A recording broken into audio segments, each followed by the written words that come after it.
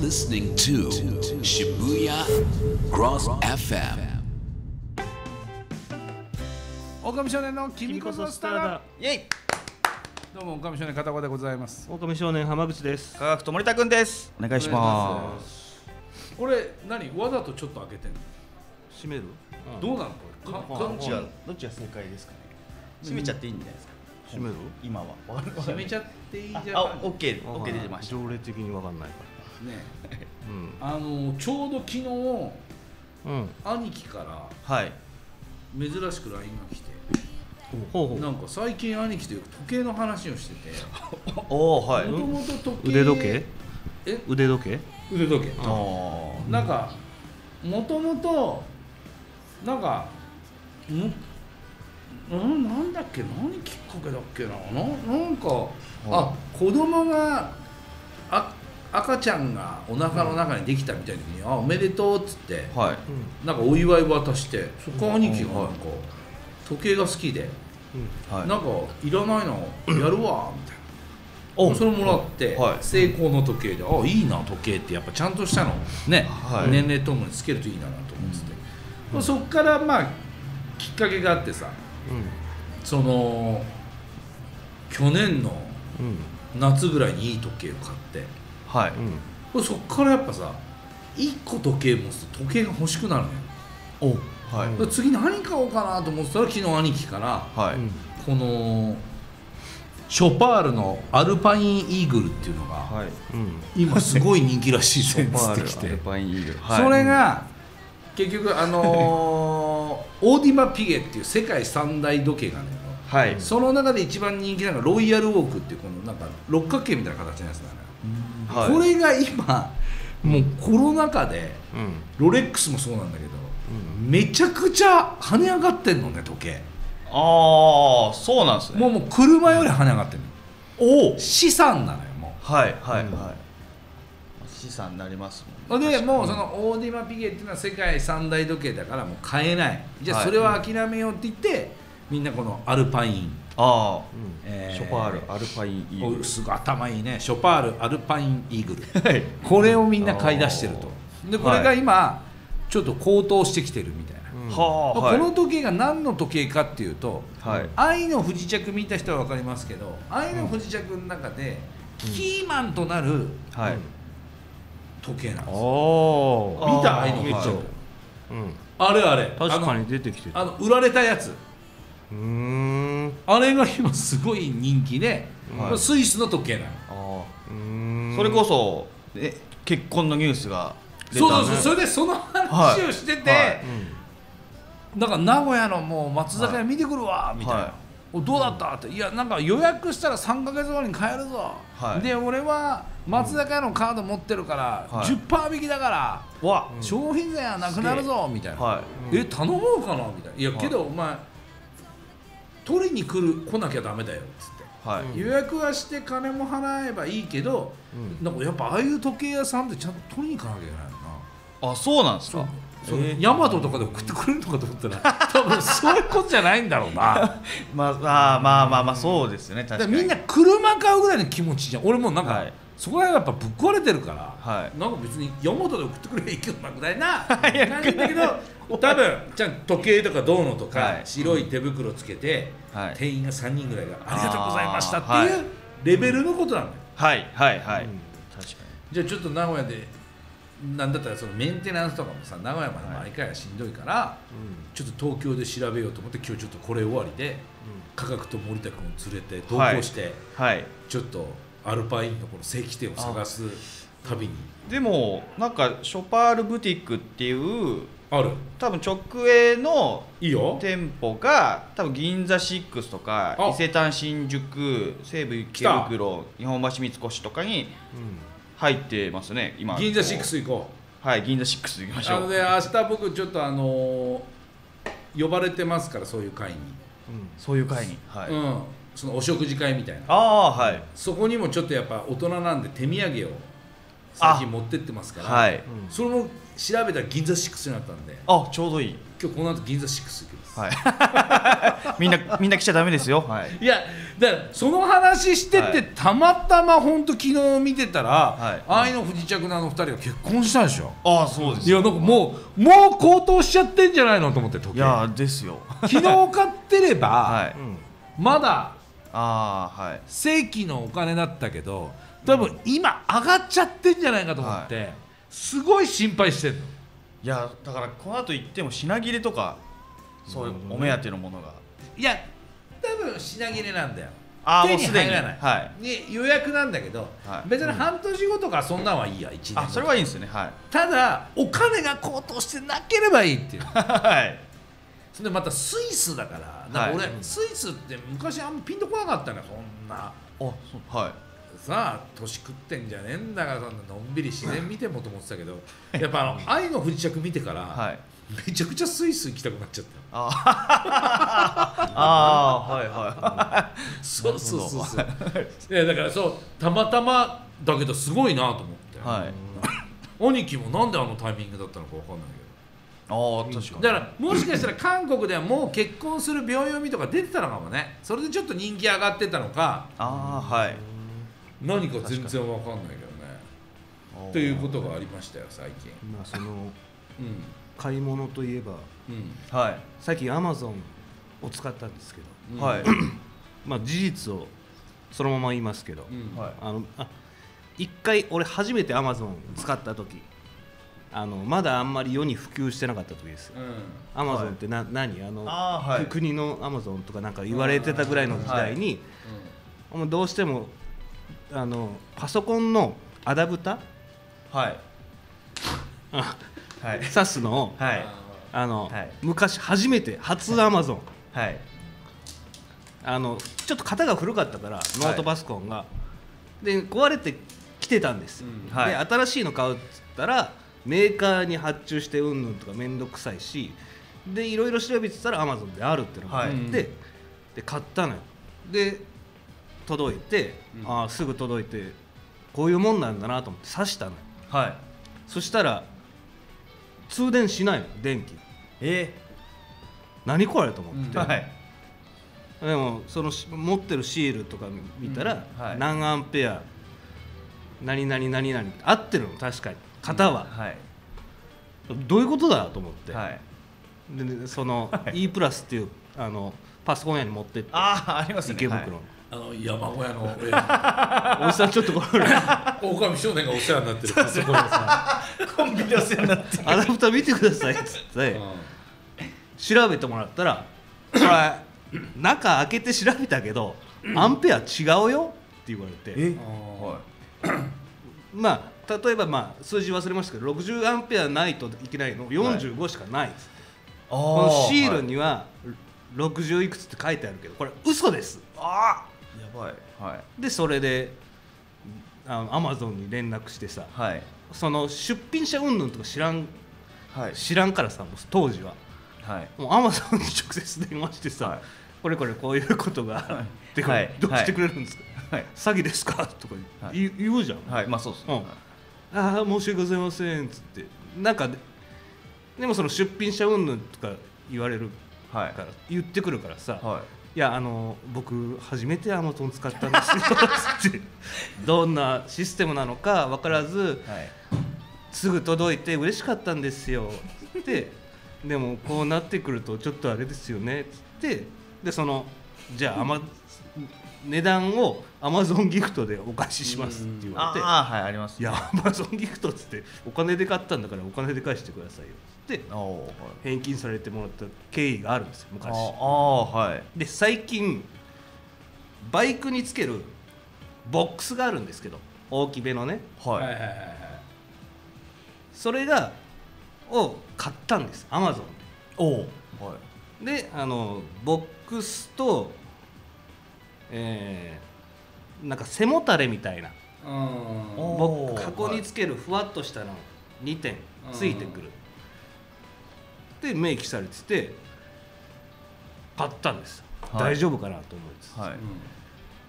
そしたらボックスは来たんですすぐ。はい。2日ぐらいで。でそのつけるやつがないんですよ。椅子みたいなふんわりする。ボックスに入ってるって書いてるんですけど、おおはい。もう入ってねえじゃねえかと思って、はい。でそのアマゾンのサイトでその出品者のとこではい。これ難しいねこれ見つけるのが。あのチャットするとこがあるんだけど、うんああはい。これとこれが入っとらんがやつって。はいはいはい。値段が違うんです。ほ他にいろいろボックスもあったけど、はい。入ってるやつがちょっと高いけどその背もたれも欲しいから、はい。それにしたんですけど入ってないよっつって、はい。でチャットしたら返事が来たんですけどはい。その返事がなんだろう。もうんなんかね日本語がなってないというかね。ああります。ちょっとよ、はい。読んでみるか、浜口様。がとうございます。大変申し訳ございませんがはい。これは我々の不注意だったできるだけ 早く商品を再発送しますので34日以内に到着する予定です。って書いてある。はい。我々の不注意だったとか書いてある。それ何 外国の方でなんか翻訳使ってんの？多分多分そうなんです。はい。え何これと思って。でななんかよくわかんないんだけどまあ要約するとはい。俺らのとこにあんたは注文したけどその背もたれのやつは別のとこから送ってるんだよ。あああはいはで、い同封はされてないと。うん、でその別にはあんたのはい。名前とはい。郵便番号しか来てねえからはい。分かんねえらしいんだよ。その別のとこは、はい。だから今一度はい住所と電話番号教えてくれって、ああはい。で送ったらた多分次の返信ははい。ちゃんとした日本人らしきがこの度大変申し訳ございません。ちゃんとした文章で来たんだけど、はい。まあでもねはい。2度目だよ。えそうっすねはい。えね。アマゾンはでちょいちょい使ってんでしうんつょほん基本ね俺あれ使ってる。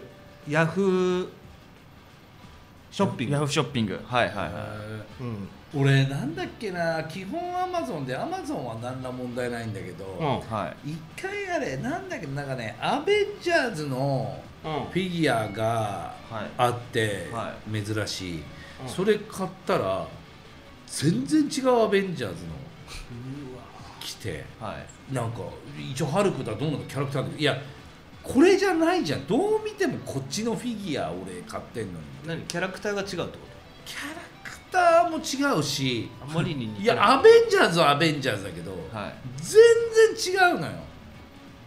フィギュアとして。ああはい。精度が低いってこそう。で、ね。なんか連絡したら「はい。あ間違えたんで送り直しますね」みたいな、はい。うん。ちょっとまた連絡します」って言ってから、は結局何も連絡なかった、ええ 最悪じゃでもういいやと思ってそれそのまま置いといて、はい。そのフィギュアは好きじゃないから、はい。もう1年後ぐらいに後輩の、あのーベリッシモと後輩がアベンジャーズ好きだから、あげたらは「い。いんすか!」っつって、いはい。めっちゃ喜んだから、はい。まあ、よしとしようっつって 終わりましたよ。そのさなんかひどいよ店で買ったならさ、うん。店に行ってさ、あはい。怒りをぶつけられるんだけどさ、こういうのとかさチャットでさ、はい。片言の日本語かなんかってさ、で、はい。なんか電話番号載ってたんだけどさ、はい。うん桁がむちゃくちゃ長くてさ あのなんか住所が中国だったのよ。ああはい。もうどうしどうしようもなくない？なんか。そうっすね。どこにどうでなんか行ったらさそいいのか。の浜口さんのまださうん。海外の人だからさ、はい。いまあ致し方ないじゃんちょっと。俺のアベンジャーズのザ日本人だったからね、あマジっすか？うんそんな日本人でそんな適当なとこあるんですね。おじさんだった。あすいません。はい。だけど一回、あのーエジプト行った時に、はい。エジプトだよな。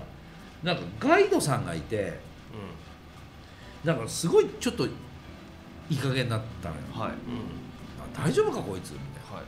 ほんでなんかその人が間入ってくれたからエジプトででかいいろいろ買ったの。もう本当に。10体ぐらい。は何十万もするような。俺好きだから、買ったらそれが全然届かないから。いおはい。な配達の見ても毎回そのインドの空港で止まってんのよ。おはい。もう分かんないじゃんインドも、はい。インド語も。そうですねだからその俺が頼んだ旅行会社に連絡してはい「担当の人いますか?」っつって「、はいやその人が間入ってくれたから僕買ったんですけど」っつったらあその人ガイドさんが「いやもうガイドの期間終わってるんで何もしませんよ」みたいな「って言ってます」みたいな。あ代理店が。はい。やいやいやいやそれだったら俺買うわけないし、はい。買ってあの人が住所でどうのとか教えてくれてやったんだから、届かないんだったらちょっと間入ってくれないといはい。そのもう履歴見てもらえば分かりますけど僕はあなたの旅行会社ではい。毎月旅行行ってんですよって。めちゃくちゃ愛してるんですよって、はい。もうこれ以上悲しい気持ちにさせないでくださいっつって、はい。かしこまりました。で結局ブーブー言ってた。はいおばさんが出てきて「はい。い、やこうでこうでこうでしたよね」確かにそうです」つって。はい。じゃあちょっとやってくださいよ」つって。送られてきたことはあったよね。あおだから量は1個10体、えー、56体買ったうちの1個がなんかはい。割れちゃったらしくて、ああはい。うん。それをなんか買ったところに連絡してもはい「知らないよこっちはもう送ったんだから壊れたうんぬんは」みたいので。で空港とそこを行ったり来たりしてて、こうアプリで見るためにさうん。行ったり来たりしてて、い。や勘弁してよっていうのはあった。あとはもう一番やっぱそういう系で嫌だったのがインド行ってはい。何の葉だっけあれ？アガスティアのアガスティアの葉っていうそのはい。葉っぱで1万種類ぐらいあって、あなたの人生を占いますみたいな、わざわざそれのためにインド行く人もいるぐらいのところなの、で俺行って葉はい結構な額払ったよインドなんて物価安いのに。は10万ぐらい払った。いおおはい。まあまあ YouTube のネタになればと思って。は待ってたのよ。いはい。あれから3年経つけどまだ送られてこない。葉っぱ枯れてますよ。すごくない？いやすごい。金取られただけ？そあどうしようもないよな海外だと。う、海外もう打つてないですもう。はい。うんはあ。絶対何割か何割かつかもうわざとだよね。あるある。あーもうどうせ連絡取れねえだろうみたいな、そうですね。ああはい。ああ。だから今なんてそういうさコロナ禍で巣ごもりじゃん？はい。もういっぱいあるんだろうなって思った。わ俺でああはい。そそんな頼まないのにそういうさバイクのあれが入ったりとかあるだってあのー元 B コースの武さんもな、はい。2年ぐらい前になんかスイッチ子供のために変えたどうのって言ったらそれが詐欺ではい。結局商品来ず、はい。で警察に連絡したらもうあのそこの口座が凍結されてるからもう犯人飛んじゃったみたいのでどうしようもできないとか なんか嘆いてらっしゃいましたよ、ああいうカスタマーサイトとかメールが来るじゃん、はい。アマゾンでよく来るのがあなたのアカウントは凍結されました。あはい。でもよく来ない、はい。たまに来ます、はい。あれも全然違うやつでしょ？そうです。あれ絶対言われるおっしゃダメです。情報抜き取られちゃもし本当の人から来たらさうはい。それも疑っちゃうよ、あそうですね。だからもうあのそれでうん。検索かけると、うん。これは詐欺です。これは正規のメールですっていうのが Amazon が案内してくれてるんで。だからうん。絶対僕検索かけますそれまあ俺はその送り先のメールはい。は確認する、とりあえず、はいはいはい。うん、変なそのアドレスで検索かけるとでも全部出てきますよ、なんかあのー前僕言ってたじゃないですか携帯。はい。画面が。あー画面。分厚いのに。もともとドコモショップで変えて正規のやつつけてそれを旅行先で落としてはい。バッキバキになって、はい。そしたらそれはちゃんとガラスのやつなんだけど画面に全部糊をつけてんだって。だからこう一個ずつビリベキベキベキベキベキって剥がしたら綺麗ではいでとある量販店に行って、うんえーじゃあ強力なやつを買ってつけてもらったら、はいもう全然打てなくて打っても途中でブーって消されちゃうみたいな反応しない、もうそれで34か月いて俺もう LINE が嫌いになってたはいもうパソコンでしか返さないはい。もう昨日ちょうどビッグカメラ行ってあじゃあと思って、はい。で薄めのやつに変えて、はい。もう店員さんにこれことあるの？っつったら、やっぱしこの画面にパコってはめるだけだから、はい。真ん中に乗り付けてないから、はい。結構起きますよみたいな、えそんなの売ってんの？と思って。はい。であのちゃんと貼るタイプのやつにしたらはい。もうノーストレス。はあ。は早いライン。もう早いよでせっかくだからここにこう蓋するようなやつだったんだけど、はい。もうそれだから開いた時なんか落としたりするなと思ってでこれにしたわけよ。けど、はい。のやつはさここの深さがあるから落ちても大丈夫じゃん。だからやっぱねね。ギャラクシーってここの深さがないからはい。これも画面があれか表面張力そうなの水でいう、う、はい。だから落ちたら落ちたで絶対行かれますって店員に私ギャラクシーのこのエッジあがあれ、まあ、特徴なんでねギャラクシーの。確かに。でやっぱしそうもっこりしてんのが売りだからはい。行かれちゃいますよだからこの変なピンみたいなのつけてさこうやってやれるようにああそれ便利そうですね確かに。とかまあこれはい。立てたりとか横にもできるから、はい。まあまあ落とさないようにしようっていうぐらいああはい。だけどもうラインはめちゃくちゃ速い。あ何前使ってたやつはねは貼り付けるタイプじゃなかった何貼り付ける？その効きが悪いってやつは。あ貼り付けるんだけどなんかもう分厚くてパコってなんかロビンマスクのマスクつけるような感じなんですよだからそりゃ空シ間ールではないんだ。うん、それ間に隙間できますよねみたいな、、はいやそれを説明してほしかったな。そうっすね。確かに何でもかんでも協力だったらいいっていうことじゃないんですよ。ああはい、まだからそういうのが欲しいんだったらドコモショップで買うしかない。あ、確かに、ああじゃあ勉強になりました。よ楽しみですね。じゃあちょっと曲いきましょうか。はい、えー、今日は伊藤さくらさんで「エール」でございます。どうぞ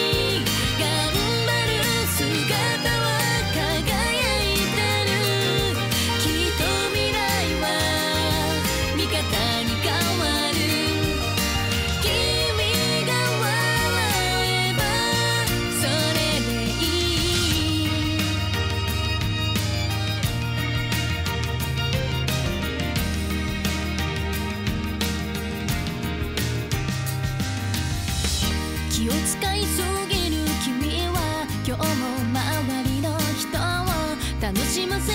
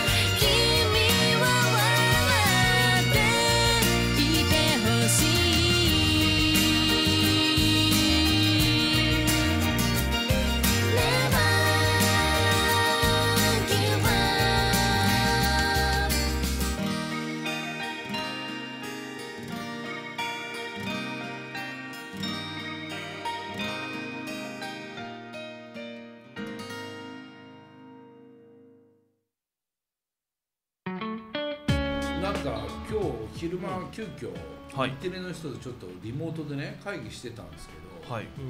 なんだかんだちょっと毎週いつも打ち合わせしたんだけどはい。なんか3週間ぶりぐらいだったのよ。まあ企画の締め切りやって出したからちょっと空いてみたいな。はい「久しぶりですね」っつったら演出の人が「い。やごめん実は俺コロナになっててさ」っつって「ええー?」っつって、はい。まあ、もう一人の作家さんも「実は私もコロナになりましたよ」って「ええー?」っつって俺も「実はコロナになりましたよ」って「ええー?」っつって この3週間の間にドンピシャで3人ともなっててああはい。すごいなっていう。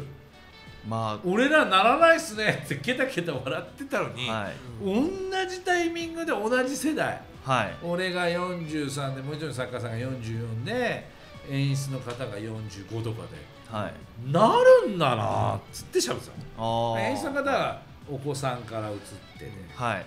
まあもう一人の作家さんは多分喫茶店台本打ってる時隣の子がぺちゃくちゃ若い子喋ってたからはい。そう映ったんじゃねえかみたいな話してたけど、でもすすごいタイミングだなと思って。まあそれだけ増えてるってことですいやほんとそうじゃない？はい。もうすぐそこに多分まだだから脅威は。浜口さんと森さんはかかってないわけでしょ。かかってないです。まあその無症状なだけっていう可能性もありますけどだから浜口さんなんて奥さんがなっちゃったら浜口さんも濃厚接触者になるもああそうですね。ご家族の方であれでしょ？奥さんが治ってからはい。10日間休まなきゃいけないでしょ。治ってからどうかそう。あそうらしいよ夫婦とか。そうですねだから浜口さんは奥さんがなっちゃったら、もう問答無用で20日間休まなきゃいけない。すごくない？いやすごいなあ。はいもう全てが止まっちゃいますよ。20日間は止まるよね。はい。だってほぼ1ヶ月何もできないって。だから古川っていう役者の後輩がなんか濃厚接触者、いやコロナになりました、おう実家ですっつって、はじゃあ何？風呂とかも全部別にしてんの？あそこまでじゃないですみたいな。え？じゃあどどうしてんの？はなるべくかからないようにしてますっつって、それ普通の実家暮らしと変わんねえじゃんみたいな。確かに。そういうやっぱちょっと人によって認識違うよね。そうっすね。それ多分ちゃんと隔離しとかないとまずいっすよね。まずいやつだよね。はい。自宅とはいえ。でやっぱそういうのはいると怖いよな。だけどあれさ、うん。あのーできたじゃん飲み薬。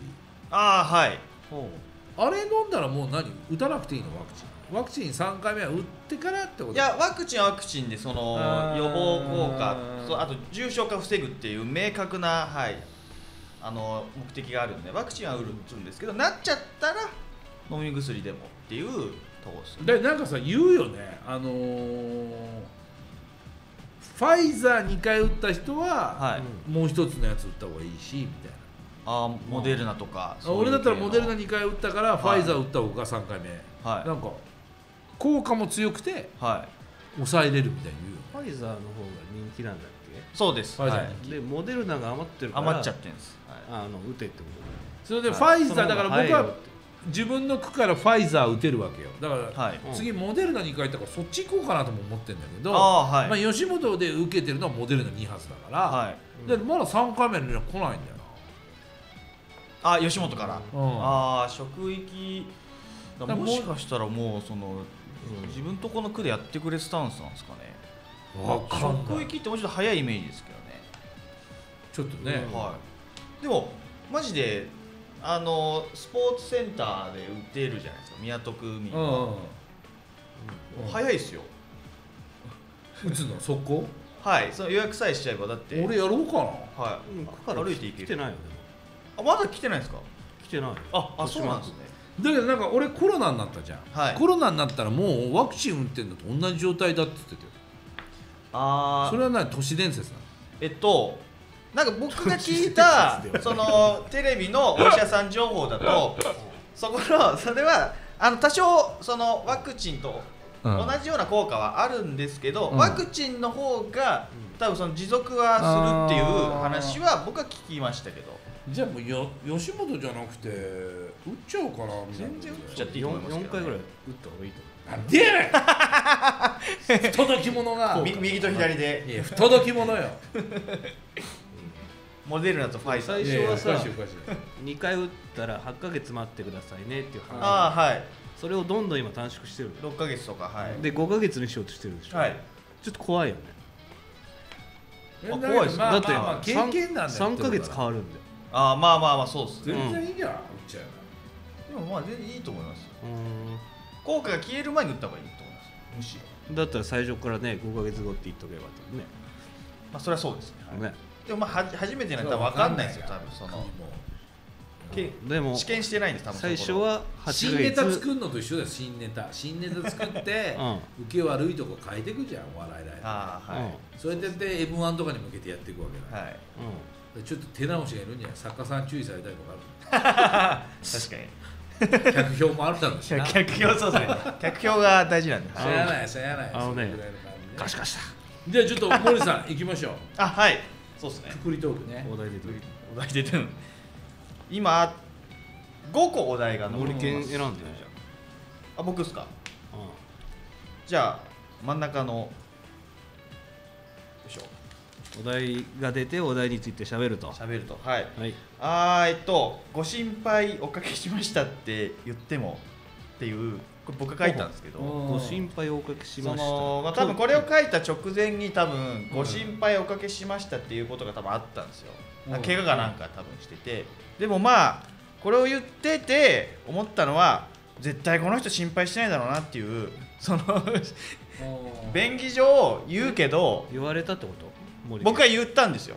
なんかご心配おかけしましたって多分言わなきゃいけない場面があってど言ったんですけど目上の人？目上の人です、うん。はいだそのでもまあ多分この人はまあご心配してないだろうなみたいなうん。思いながらもそれを多分怪我かなんかしてたんですね多分。森健が？はい。どこどこやった？あえっと多分なんですけどあの膝た膝っすね。膝山を その何ヶ月か前にあ膝ちょっとやっちゃってでご心配しましたみたいな場面があったんですよ。治ってから。ーうん。ででで言うんですけどまあその まあ言うほど心配してないだろうしそのこのこれこのこのフレーズなんだろうなみたいな。あー。それ何？ご迷惑おかけしましただったら分かるんです。しゃ喋った？しゃべっじゃ喋ったんですよ。の LINE とかじゃなくて？LINE とかじゃなくて。そのじ実際会ってうん。実際会ったんでそのその説はみたいなお話なんですけどそいつはどんぐらい距離が離れてる？何を知りたいんですかそんなに？いやその人の距離とかあるの。その距離によって登山をガイドした人なのねか一緒に一緒に行った先輩ですね。同じ山登った人？そうですはい。でで後日会って後日会ってその説はっていうはい。ってこと。ああでそそいつはあの大して心配してねえだろうなって森健的に思ったってこまあそうですねはい。そんな剣のある感じじゃないですけど、うんまあそんな心配とかじゃないだろうなみたいな。そのえっとまあそうですねそのえその人がご心配森田がご僕心配がご心配おかけしてすいませんでしたみたいなあの時はちょっとみたいな、心配したよっつって。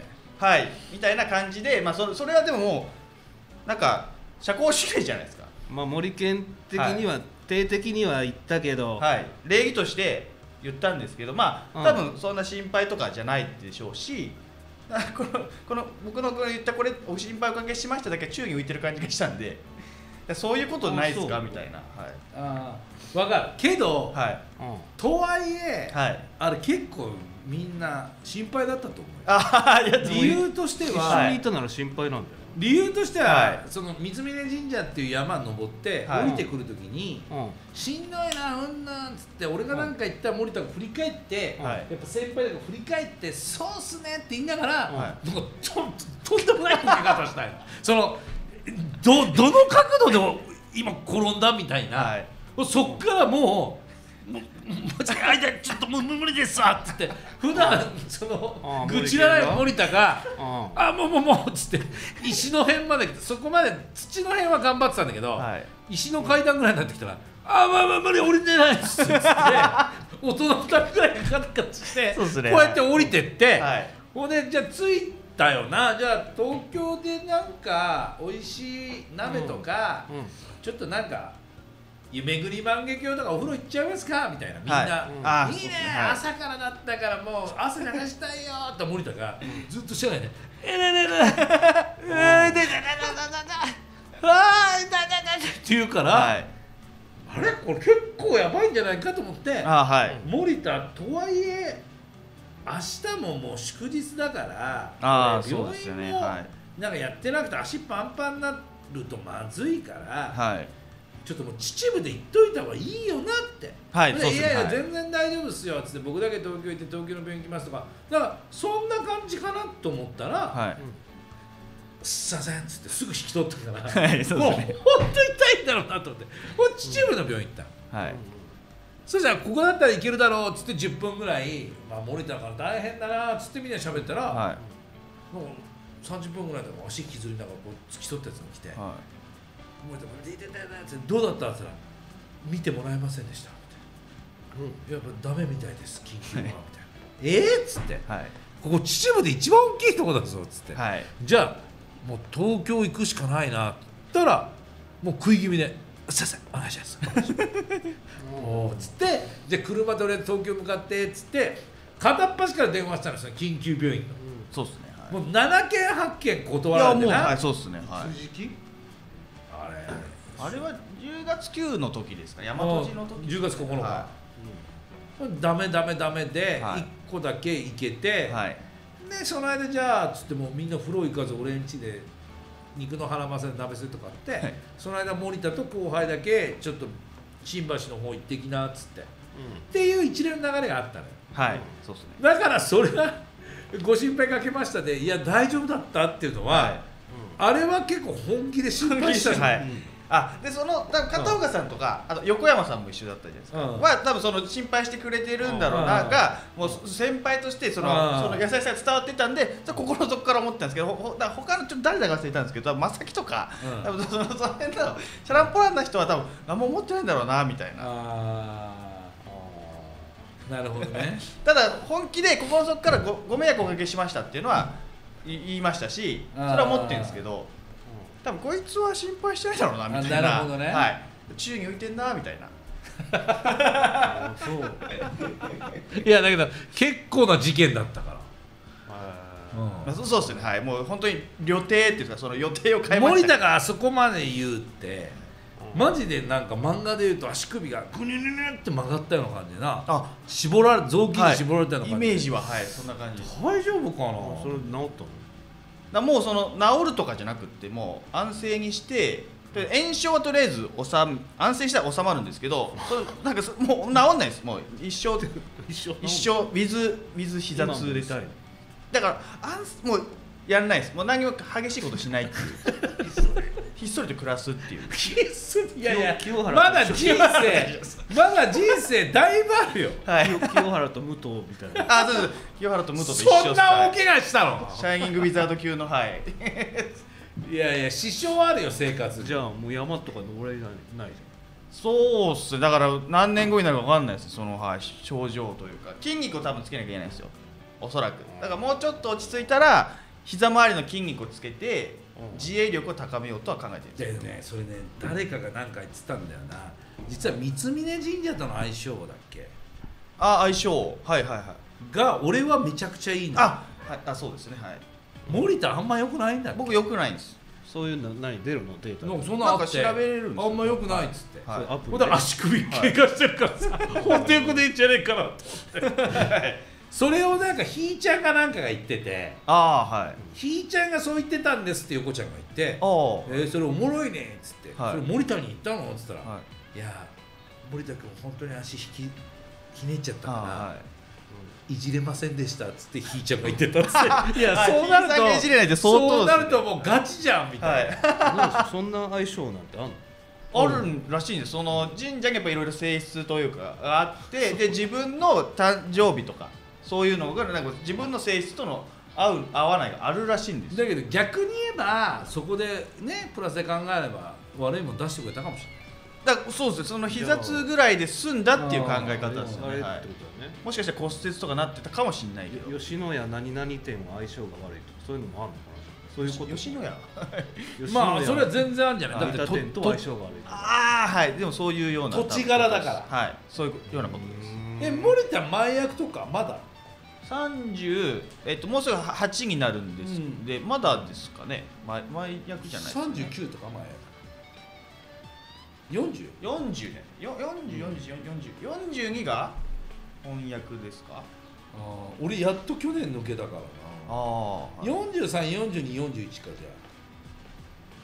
ああでもそうなんかそそ多分そこだと思うその期間ですゃあなんかそういうのありました？浜口さん。前役翻訳後役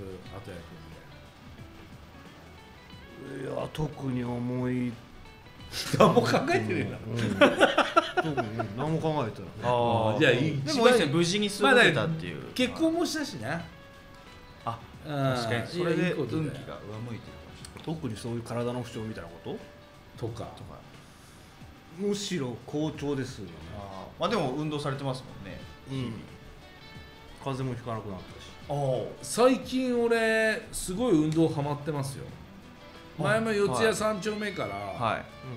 自分家まではい。1 0キロ歩いて帰りましおおえ途中タクシーも乗らずですか？たよ no taxi。いつも結構手前でタクシー乗られますけど no ta no taxi no taxi ですごいっすね。ーでその2日後も、はい。もういやさすがにもう12時だからタクシーで帰ろうかなと思ったけど、はい。負けちゃダメだ逃げちゃダメだっつって、はい。と芝浦まで歩いて帰りました。あ芝浦って言っちゃいましたけど自分家まで自分家まで歩いて帰りました。で、はい。その次の日、はい。港区スポーツセンターではい。それこそワクチン打ってあはい。1キロ泳ぎましたよ。1キロ1キロ。1キロ泳いだ。結構大変ですよね1キロは。全然楽勝。全然疲れない。すごい。ただ1キロさすがに泳いではいいやなんかいくらでも泳げるなと思ってバッて上出たら、はクラクラクラってめまいきたけどね。え？やっぱそれだけ1キロ泳ぐって、はあ疲れたっていうのはああはい。あるんだないやもうそれでなんかさジャグジーみたいなとこ行って入ったの？それで、はい。ちょっとでかいジャグジーだったからそうしたらなんか言葉選ばず言うけどちょっとそのジジイがいたの。はい。ジジイが座ってて。はい。ジャグジーにいやいやそれそれおじいさんとかご年配の方って普段言うんだけどはい。なんかオールバックにしてはい。めっちゃ俺をメンチ切ってくるんだよ。はい。おおなんか間違いかなと思ってこう目線そらすんだけど、はじーっと見てんだよ。はい。あれ何だったんだ俺のジャグジーだから、はい。入ってくんなよっていうの言ったことそあのプールについてるジャグジー？そうそうそうかななんですかねなんか順番とかあるんですか？そうこいつなんかおしっこしてそうな顔してるなとか思われた。そんな思われそんで隣のジャグジーははい。夫婦で入っててめちゃくちゃべちゃべちゃ喋っててあすいませんちょっとあのその黙食じゃないけど喋んないでくださいっつって怒られてた。でその間もじじいがずーっとこっち見てる 何か来んなよってことですかね。なだったんだな。はみんなで入るとこだけどな。いそうですよね。で気分を害して帰ったっていう。腹立つあのじじいとかって。あでもそのその じじいがどうかわかんないですけど僕眼鏡で目悪いじゃないですか。あー、はいあ目うん自然で取らなきゃいけないんですよ。温泉とかプールって。だから自然と睨みがちになっちゃうんですよ。見るためにちゃんと。それで。その可能性がやいやいやもうだだけどさ、はい。目悪い人ってさ、はい。目悪い顔してない？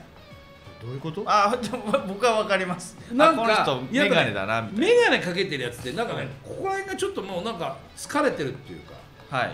なんか普段眼鏡つけてて見えてるけど、はいまあ、見えないっていう時点でこうなんかちょっとまぶたが落ちてるみたいな、あはい。そう眼鏡面になってんだよ、はい。伸びた面というか。わかります。そいつははい。伸びた面じゃなかっあもうた真スネ夫正面の。面だった。ああ。なんか企んでます。みたいな、はい。また会うんじゃないかな確かに。うん。交互期待。はい。ちょっと続報。をもんちゃんします？行きましょう。あもうだからあと5分ですよ、あと5分。サクッといこう。かじゃあどうしますか鴨さんいかが人いないな今日。一番上行こうか。一番上。確かに祝日なんで少ないですかねみんな何やってんの？好きな食べ物の変化。好きな食べ物の変化。変化。好きな食べ物の変化。ある？なんか大人になってさこれ食えなかったけどこれ美味しくなったわみたいな。あー僕はナスあなるほど。うまいよな大人うにないると。ね いや子供の頃は大嫌いだったんですけどいつの間にかうん。ナス好きってなってましたね。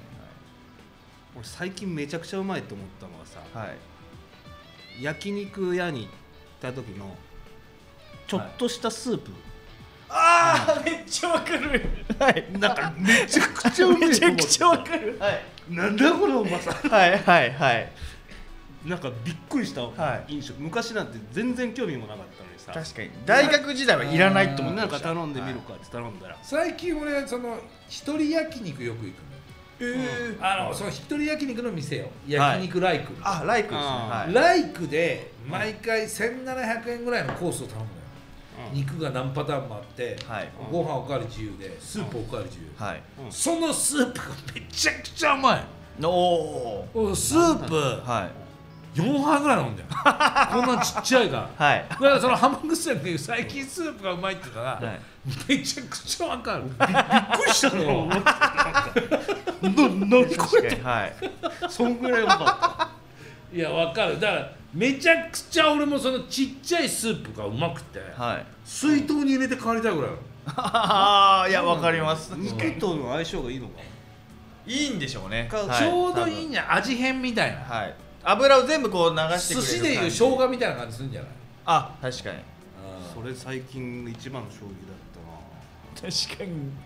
スープうまいっすね。いやだけどあの焼肉ライクとか一人焼肉とかいいよね。ああもうなんかみなんか焼肉って一人で行くと量があってあるじゃん。あまあ確かに、けどわざわざ呼ぶのもなんもあるじゃん、はい。そのはい。時焼肉ライクだと一人ではい。好きなだけ食えるからあもうやっぱ一人楽だな。あはい。う僕はまいうまい？あので浜口さん食ったらはい。これめっちゃうめえがやって。絶池対袋にあるんだけど行ったことない行ってみ、なんかその奥さんとタイミングがあって焼肉食うとかもはい。それはそれでいいけどはい。一、人で焼肉食いたい時あるあるありますちょっと焼肉食いたいなみたいな、はい。そういう時めちゃくちゃいいほんでいその1700円のやつ頼んだらスープ飲み放題だからあね。そのスープを飲んでほしい何が入ってるわけじゃないのよ。あはい。うめえっつって。わかめとごまみたいなのがちょっと入ってるだけなんだけど。めちゃくちゃいってしまう。ね。まあ僕そういった部分で言うと昔も今もやはりメロンは苦手でしたね、あおー。最近ちょっとなんかメロンをはい。差し入れ食べたんですけど、別に何もうまくなかったな。えー、あそだ。けどメロンパンはうまあー。確かにあれメロンの味しないですからね。い、うん、でメロンパンも昔苦手だったあそうなんですか。けど大人になってそういった部分で言うとメロンパンは美味しくなった。ああ なるほど。メロそンパン。こがちょっと私の食変化ですかね。あ可視化した。ということでございまして、もうお時間でございますからね、ーはい。えー次回は2月や18日休みだって来週。18ですね。18? 次回2月18日でございます。からよろしくお願いいたします。ちょっと押し越してほし エンディングでおしっこしたくなってということでまた来週。バイバイ。バイバイ。祝して